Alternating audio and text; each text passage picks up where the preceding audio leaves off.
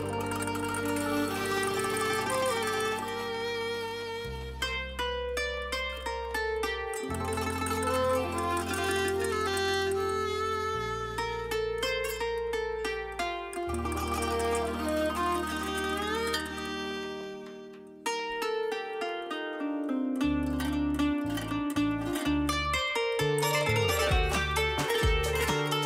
сейчас вам расскажем и покажем, как делать самые вкусные домашние оливки.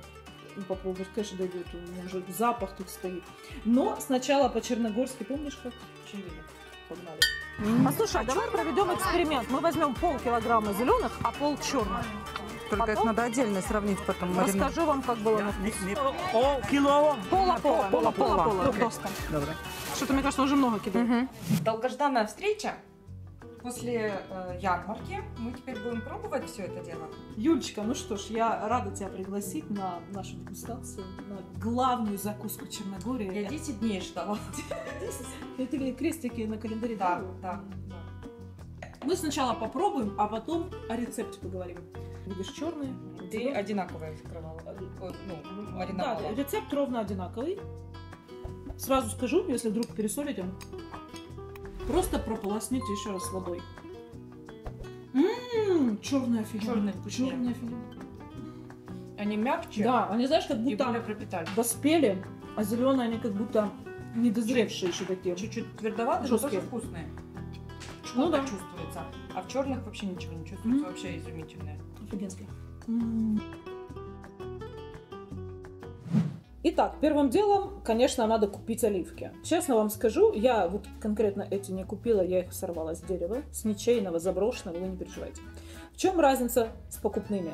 А, вот здесь бывают червивые, когда дерево, за деревом не ухаживают, не прыскают его чем-то там, э, то черви очень хотят скушать эти оливочки. А, Покупные на рынке стоят 2 или 3 евро килограмм в Черногории в свежем виде. Не пугайтесь, что они зеленые, это разные сорта. Это хорошо, что в принципе не дозревшие. А, то упрысканных деревьев червей не будет. В общем, что нам еще надо, кроме оливок? Чесночок. Вдруг вы не едите чеснок, выкидываем. Ну, не страшно. Розмаринчик. Можно, можно сухой тогда, если Можно. да. он не сильно. Розмарин. Сухой, свежий какой найдете. Петрушка свежая, думаю, есть у всех. А, Конечно, наш народ захочет укроп, но я к средиземноморской а, закуске не советую. Укроп не очень подходит. Крупная морская соль, вот такая, видишь, прям крупненькая, прикрупненькая. Какой-нибудь кон- контейнер, просто самый обычный, куда мы будем сейчас складывать. Оливковое масло. А, Это у нас производят в Ульцине. Мы покажем вам, как это было. Мы заезжали. Это у меня домашнее, вот в такой шикарной бутыляке. И еще нам нужна обычная вода. Питьевая, фильтрованная. Можете с крана, главное, чтобы не было хлора. Ну и главный предмет сегодня это молоток. Сразу скажу, вот так красиво, как я, не одеваться. Сейчас я буду как, хотел сказать слово свинья, но некрасиво, да? В общем говоря, буду я грязная. Я так понимаю, это и есть главный секрет. Так, ну чесночок, в общем, вы видите, у меня порезан. Это уже в конце. Чеснок с петрушкой у нас вот так вот идет в конце. Я Просто уберу сейчас доски. Это идет последняя стадия. Сначала нужно запастись терпением. 10 дней мы будем их вымачивать в воде. Каждый день менять пресную воду, самую обычную, главное не хлорированную. Хотите кипяченую, то не важно. А, Я куплю салфетки ровно по одной причине, потому что сейчас будут брызги масла, и по-хорошему на себя тоже надо так положить. Еще я дам совет. Или делать это все на улице, или в каком-то таком пространстве, где потом можно вытереть, знаете, А если делать это в пленке?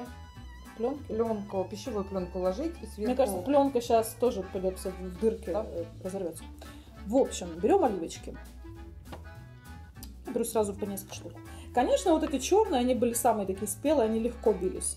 А молоток желательно брать плоский, не как у меня. Я вот беру для отбивных, и вы понимаете, что э, становится тогда оливка такая. Сейчас надо показать ее. Ну, короче, расфигачивает оно ее сильно. А если ребром? Не- Короче, не эстетично, видишь? Но мы да, все равно съедим. Ребром я не пробовала. Давай я покажу, как я делаю. плоская, да, вот эта часть. Подожди. Вот так вот, вот так вот, вот так вот. Короче, так со всей силы, знаете, ударил. И очень хорошо выходит косточка. Ну, косточку куда-нибудь выбросим. Сразу видно, что оливка у нас без червей, а, светленькая, хорошая, и складываем вот в контейнер. Теперь применим метод Юли боком. Работает, смотри. Но эстетика ровно такая же. Расфигачила. Вот. Аж страшно. Кстати, оливковое масло делают именно из зеленых э, оливок, недозревших. Это считается э, лу- лучший способ собирать вот именно такие. Немножко в фиолетовый цвет уходят. Из черных стараются не делать. Пахнет травой. Да, пахнет свежескошенной травой, сеном, чем-то таким. Мгм. Даже масло домашнее будет этим пахнуть.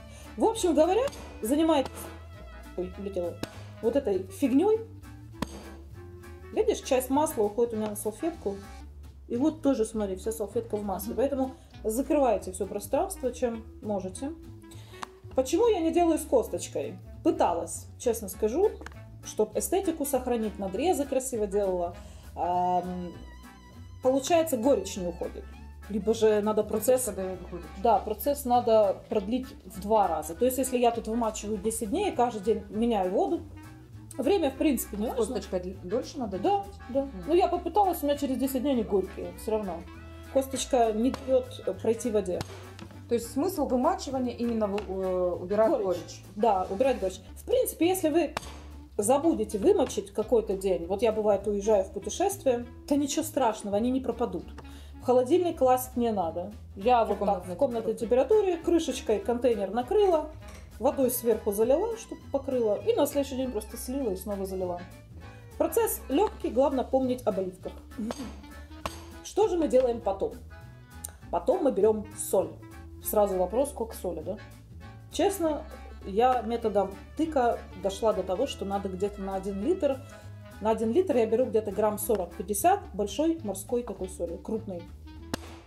Размешали, залили снова. И вот последние сутки, можете на двое суток оставить, а, ты оставляешь уже просаливать. Мгм. Не обязательно отсчитывать 10 дней. Вы можете на какой-нибудь день седьмой уже попробовать. Она, кстати, меняет цвет вот тут внутри. И вот смотри, разница какая. Давайте, Да, она полностью вода ее пропитывает, и вот из такого светлого она Мгм. превращается в такой темненький. И когда она полностью пропитается, ты уже можешь, ага, дай-ка я попробую. М, А попробуй вот эту, ты сейчас будешь плеваться. Зеленая. Ну, попробуй, ну чуть-чуть, оближи. М, О, горь- да. Горькая. Короче говоря, вот эта разница 10 дней. Она потемнеет и полностью утратит горечь. Вы поняли, мы 11-12 день, э, день вымачиваем в соленой воде. А, Вот. Что делаем потом? Сливаем воду. Я беру те же самые салфетки. э, Оливочки немножко промакиваю от воды. Да, понятно, что они какое-то масло отдадут, но не все. Потом мы берем... Сейчас я вам покажу, кстати, у меня есть тут незаконченный То процесс. есть весь процесс э, просто с водой. И когда уже горечь ушла на свой вкус, Да. начинаешь добавлять все ингредиенты. Нет, тогда один или два дня в соли держи. В соли. Соленой воде именно. Не обязательно литр наливать, да, в этот контейнер. Просто говорю, что на один литр я грамм 40-50 беру. Вот у меня контейнер не слит. Он уже все, потерял горечь. Вот так это может некрасиво выглядеть. Ну, в общем, слили. Аккуратненько можете через друшлаг. Какой-нибудь другой контейнер или в баночку положили, налили оливковое масло, а у кого нет масла оливкового, ну, налейте обычное рафинированное, э, без запаха подсолнечное. Я честно скажу, я мешаю два масла, и то, и другое. Когда надо прям надолго оставить, законсервировать, да. Но А. без посторонних запахов. Но да? ты мне говорила, что нельзя чеснок туда, да, на банку долго, если. Э, уже полностью, когда готовая, да, мне подсказала э, продавщица на базаре Да, вот на- если на рынке, надолго. она сказала, что 3-4 дня максимум с чесноком. Мгм. То есть вот так вот в тарелочке подать гостям чеснок сразу можно, петрушечку нарезать сразу, розмаринчика. А если надолго убрать баночку в холодильник, то лучше без Без чеснока. чеснока, да. Так что заливается маслом, природный консервант. Они уже у вас соленые. Ну и добавляйте травки. Всё. Хотите хоть сухой базилик добавьте, неважно. В общем, Юлечка. А, ну вот так, смотри, вот так можно. Это у тебя Это для, это как бы для холодильника, но видишь, я уже чеснока сюда напихала, поэтому ну что, придется съесть. Ну, я думаю, Ну, что я думаю, еще что- пару-тройку гостей эта баночка А, тоже уйдет, да. уйдет. В общем, вы поняли суть. Рецепт классный, проверен нами То неоднократно. есть, если не лениться, то И на замечательное рынок можно домашнее не ходить, да. блюдо, и экономия, я так думаю, приличная. Ну, экономия Сколько хорошая. Но тут знаешь, в чем еще факт? Если, к примеру, вы не можете каждый день ходить на рынок, э, неважно, Черногория, это Хорватия, Испания, да, покупать подобные домашние оливки, то в магазине это совершенно другой вкус. Абсолютно. Даже рядом не лежала, потому что черногорская оливка, которая в банках, в магазине продается, как и любая другая консервация, это один сплошной уксус. Э, Две-три фирмы, может быть, э, ну, более-менее ми- минимум уксуса, но все равно это абсолютно не то. Э, Можно туда чеснока, масла, что угодно добавить, не будет вот такого вкуса. Не будет. Ну что, я... А это отдельная закуска. И вот на черный хлебушек Да. все отдельно. М, м. Вот Что мы пожелаем в конце? Не ленитесь. Поменять 10 дней воду не такая страшная цена за домашнее чудесное блюдо. И практически э, это черногорская. Это называется средиземноморская диета. Вино подайте, пожалуйста.